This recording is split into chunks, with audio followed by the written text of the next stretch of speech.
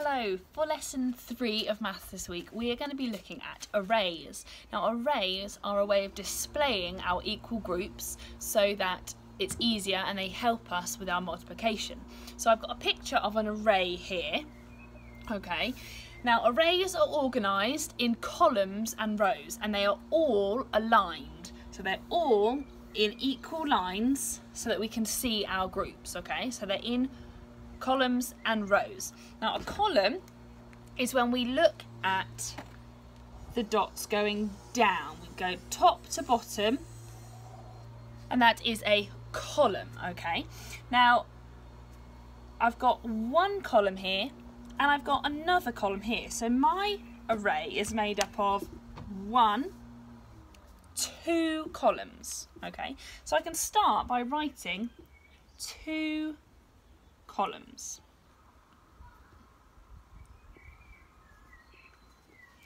Now, in each column, you can see I've circled my column, in each column I have got some dots. Now in this column I've got one, two, three, four, five dots. And I've got the same in my second column. So in each of my two columns, I have got five dots. Two columns of five dots. That's the same as me saying I've got two groups of five, okay? Two groups of five, two columns of five dots.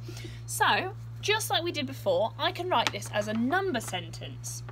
So, two columns of five, I've got five, and I've got another five. Five add five equals, okay? And then I can work out the answer either using a number line, like we did earlier in the week, or by counting in five. So I can count five, ten.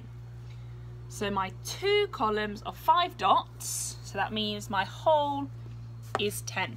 But I can also look at my array in rows. Now rows, when we go side to side, okay? So my array is made up of one, two, three, four, five rows. Five rows. So I can start by writing that. I'm going to write it on the other side. I've got five rows. And each of my rows is made up of one, two dots.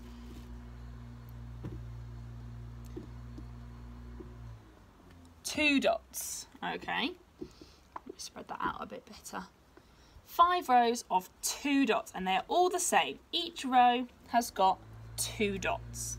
Now I can write that one as a number sentence as well, okay? Now I might need a little bit more space. So I've got two, add two, add two, add two, add 2. So I've got one, two, three, four, five groups of 2. Okay, and then I can work out the answer by counting in twos. Two, four, six, eight, ten. Now you notice, you can see that my answer is 10 both ways I did it. If I looked at the columns, I got an answer of 10. If I looked at the rows, I got an answer of 10.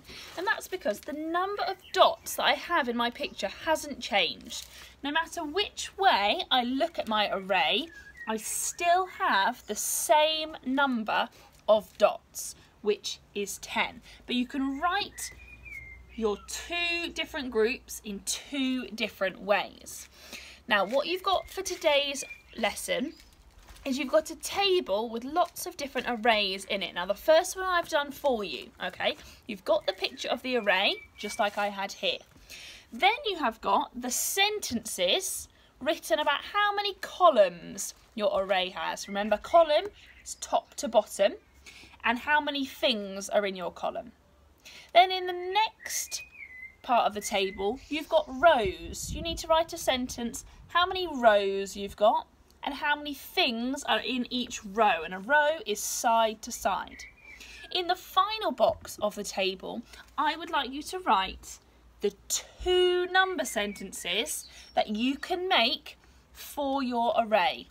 Okay, so one will be about the columns, like this one. Two columns of five, five add five. And one will be about the rows. Five rows of two, two, add two, add two, add two, add two. And you need to remember to write the answer, okay? And remember, your answer should be the same for both number sentences, and that number should be the same as the number of pictures in your array. Shouldn't be any more and shouldn't be any less. They should all be equal, okay? Have a go. If you find it a little bit tricky and you need a little bit more practice, then ask a grown-up to write out another array for you in any picture. It can be dots, squares, cars, as long as you've got rows, columns, and they are all equal. Okay, have a go and let us know how you get on.